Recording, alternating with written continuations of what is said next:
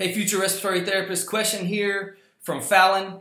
She wants to know about calculating spontaneous tidal volume and spontaneous minute ventilation. Now, I've done a video over this before, and that's where we use these formulas to calculate tidal volume and minute ventilation. But because she specifically asked for spontaneous tidal volume and spontaneous minute volume, then I'm going to guess that this question is probably talking about how do I calculate spontaneous tidal volume when my patient is in a mode of mechanical ventilation, is on a mechanical ventilator. Okay, so the first thing I want to tell you is, is if you're in assist control, there is no spontaneous, so you don't have to worry about calculating it. So we don't need to talk about assist control.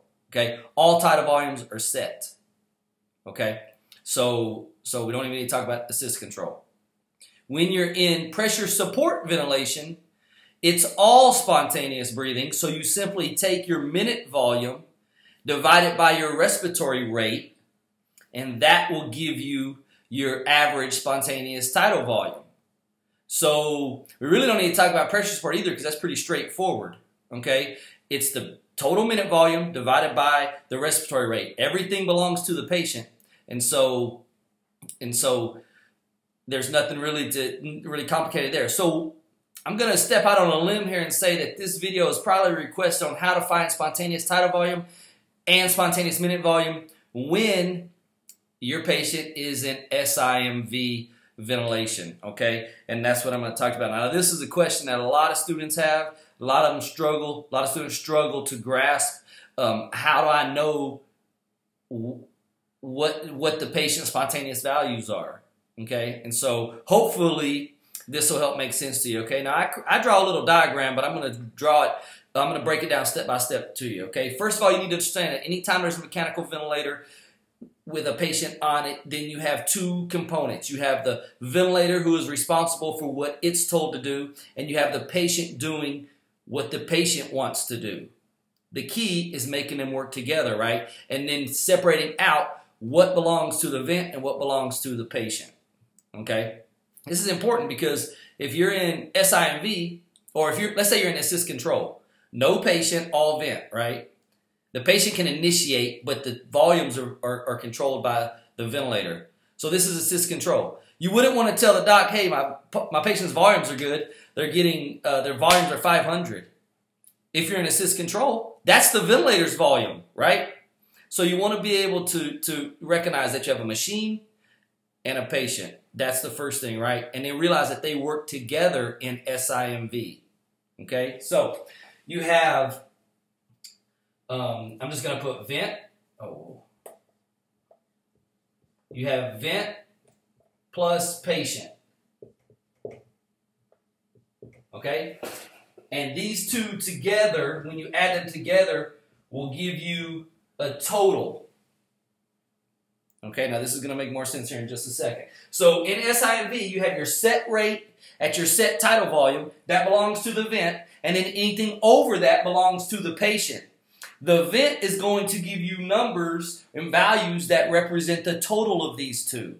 Okay, so vent plus patient equals total. Now, once we understand that, then we're going to draw a little box here. Okay, and we're going to separate it out like this.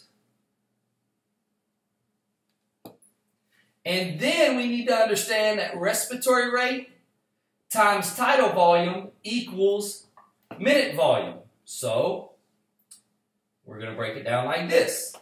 Okay? Now, respiratory rate times tidal volume equals minute volume.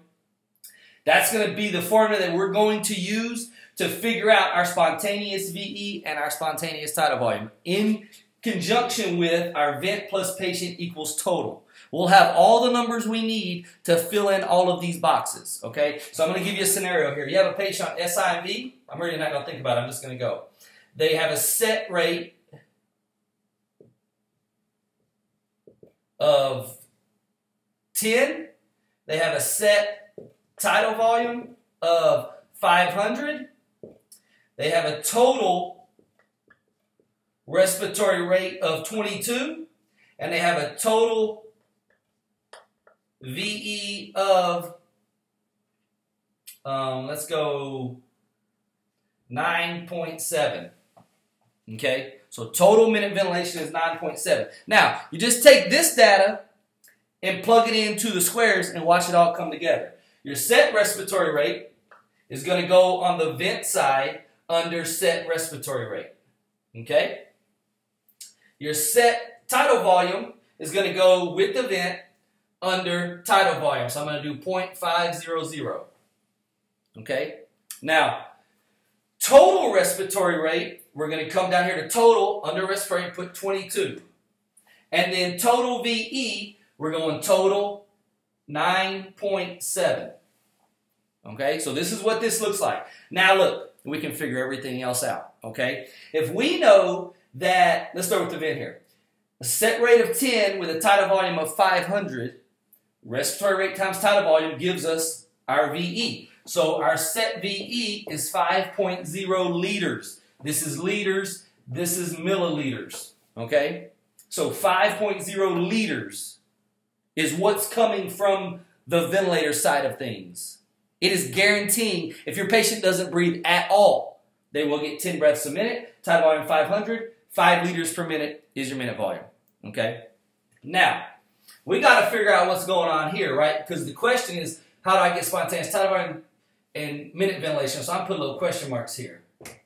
So how do we figure this out? Okay? Well, if the vent is giving 10 breaths a minute, but your total is 22, then the additional 12, 22 minus 10 is 12, must belong to the patient. They can't belong to anybody else. So it has to be the patient, right? So, we can't do anything with tidal volume yet, but we also know that if we have a total VE of 9.7 and we subtract what the vent is responsible for, 9.7 minus 5 is 4.7, okay? Then we understand that the patient's spontaneous minute volume is 4.7. See, this 9.7 doesn't all belong to the patient. Five of that belongs to the ventilator. The vent is responsible for that. Okay? Remember, this is an SIMV. All right? So that means that the extra 4.7 must be coming from the patient. Now, how do we get how do we get tidal volume? Well, if we know respiratory rate times tidal volume equals minute ventilation, then we also know that tidal volume equals minute ventilation divided by respiratory rate.